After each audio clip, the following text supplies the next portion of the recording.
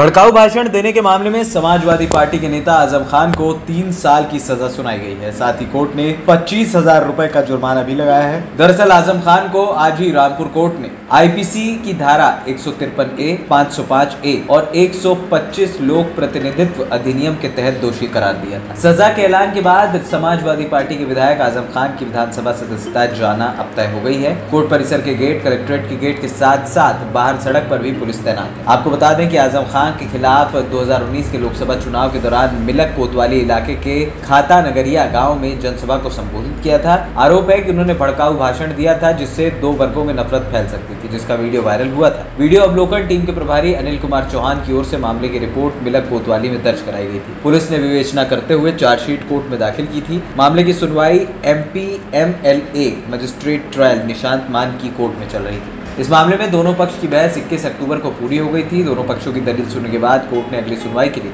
27 अक्टूबर की तारीख मुकर्र की। इससे पहले आज़म खान ने कोर्ट जाने से पहले कहा था कि फैसले के बाद कुछ कहूँगा। आज़म खान फ़िलहाल कोर्ट में मौजूद है। अब वो क्या कहना चाहते हैं, ये बहुत जल्द लोगों के सामने आ जाएगा, लेकिन फ़िलहाल आज़म खान को आज रात तो जेल जाना होगा। यहाँ पर कोर्ट ने उन्हें तीन साल की सजा और पच्चीस हज़ार जुर्माना लगाया है। ए टाइम्स की रिपोर्ट।